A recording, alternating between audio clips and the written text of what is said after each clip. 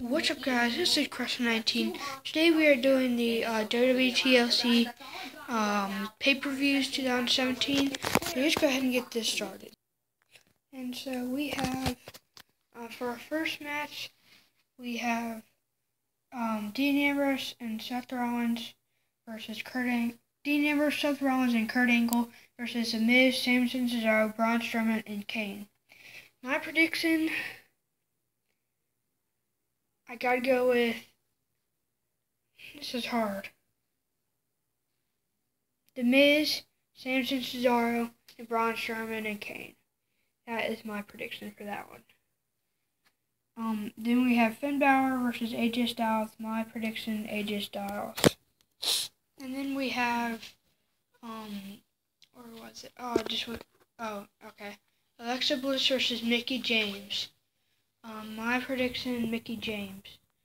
Then we have Asuka versus Emma.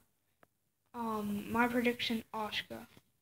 Then we have the Cruiserweight Championship. Kalisto is the champion versus Enzo Amore. My prediction, Kalisto is going to retain. Then we have Cedric, Cedric Alexander versus Rick Swann.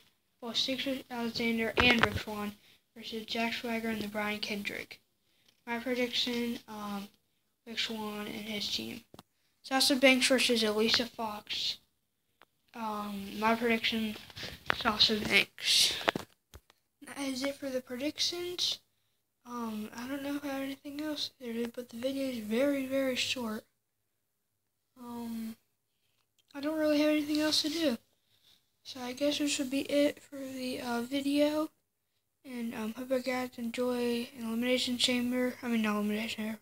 TLC 2017 WWE. Hope you enjoy for watching it. And um, Crush 19 out.